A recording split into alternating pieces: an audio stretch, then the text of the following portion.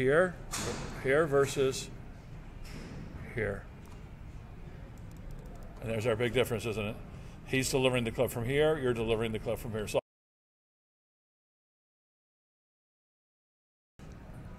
turn and hinge. And we knew that we do that with leverage, pushing down to make it go up. Excellent. Shoulder's going to complete its turn, and then we're going to complete the hinge to the top. Excellent. Face still a little shut, but that's okay. And then what's the big move here? Is now, that what I just done? this, uh, this is just a little practice move here. And then right from here, everything's in line, isn't it? Look how, look how the shaft, the hand, everything's in line with the plane of the swing, isn't it? And we're just going to pull it down underneath it now.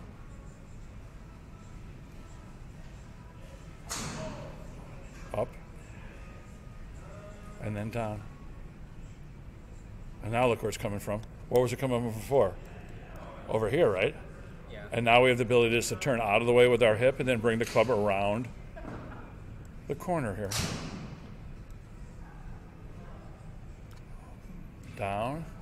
Yeah, excellent. Look how nice and tight the hands stay to the body then. They're not moving away from the body, are they? Round and hit. Excellent.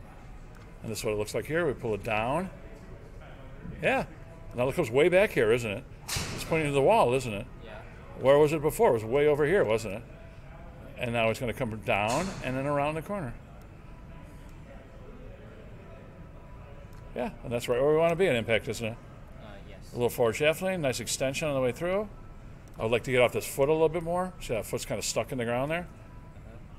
So what is that doing? That's stopping this hip here, isn't it? What does that What does that foot need to do? It needs to turn more, doesn't it?